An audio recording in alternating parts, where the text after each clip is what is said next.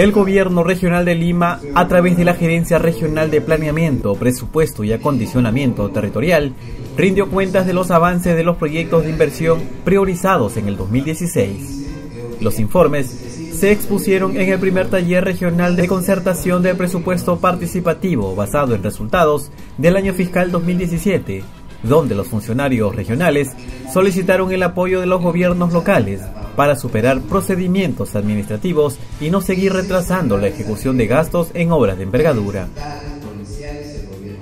Para que las municipalidades provinciales y distritales, gobiernos locales, presenten al Ministerio de Economía y Finanzas sus proyectos de haber ¿Y en cuánto asciende este fondo? 600 millones de soles para este vuelvo a repetir, 600 millones de soles para las municipalidades provinciales.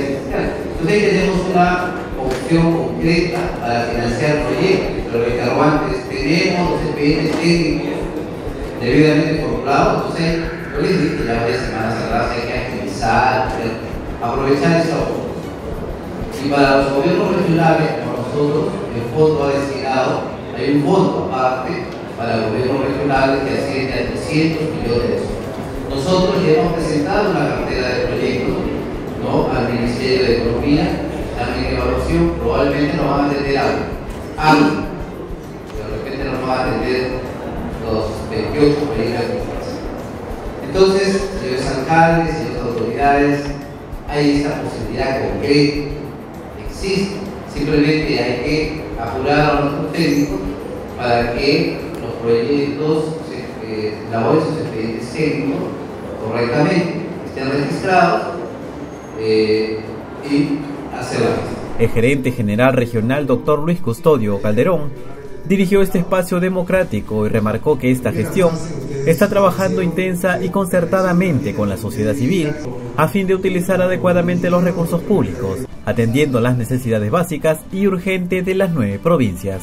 Tienen que ser obras las que salgan de aquí, unas obras de carácter, eh, por lo menos que tengan un carácter muy provincial, para decir, proyectos grandes, de envergadura. Pero primero tenemos que ponernos de acuerdo todo de una provincia.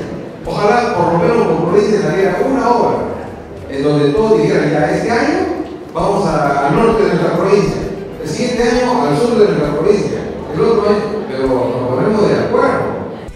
Por su parte, el gerente de planeamiento, licenciado Mario Verano Conde, manifestó que cuatro obras ya están convocadas a licitación. La intención es que de todas se concluyan en un 100%. Cuatro proyectos de 2016 que ya están convocados, ya están en proceso, esperando los plazos.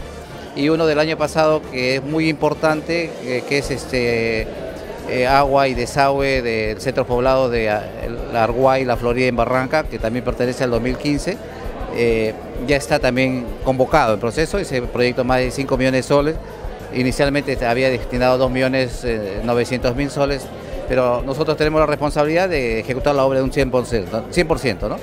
Entonces esa dinámica creo que lo han entendido los agentes participantes porque es la práctica que hacemos diario a través de la gerencia de planeamiento y la de infraestructura. Mientras tanto, el siguiente paso será sostener la segunda sesión del CCR el 28 de abril a las 10 de la mañana en el Club Sociedad Obreros de la Unión, en la ciudad de Huacho, para presentar la cartera de proyectos para el próximo año a los alcaldes y sociedad civil.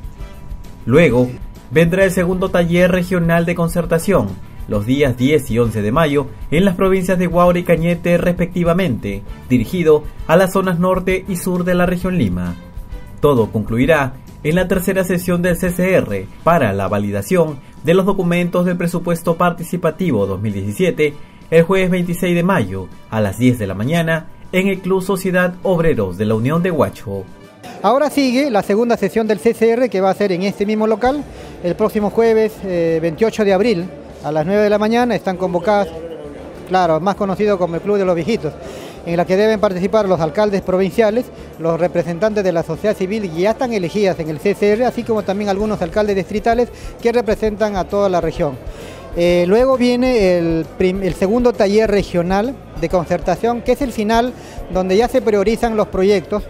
Va a ser en el Hotel La Vía el próximo martes 10 de mayo a las 9 de la mañana. Así que Y el otro taller también se llama segundo taller, pero lo hacemos para la zona sur, para Cañete, para Yauyos y para Guarochirí. Y esto se va a hacer el jueves 12 de mayo en el auditorio de la comunidad campesina de Cerro Azul. Y finalmente el día jueves 26 de mayo, en este mismo local que se llama el Club Social Obreros Unión, conocido como Club de los Viejitos, se va a hacer la tercera sesión del CCR. Ahí terminamos este proceso participativo y creo que se define adecuadamente los proyectos que para el próximo año ya se deberán ejecutar pues, con el presupuesto que se tiene.